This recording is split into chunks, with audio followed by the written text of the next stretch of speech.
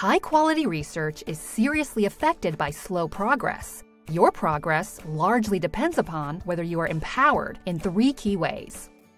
First, you need to effortlessly discover the right set of scholarly literature and other supporting supplementary resources at the right time so that you can keep expanding your scholarship. But then it is not good enough to just keep collecting these resources. You also need to speed up your understanding of all your new findings, develop newer insights, and come up with exciting and original ideas. And then, to effortlessly thread the key takeaways from every paper as you progress, without having to deal with the natural barrier of human memory.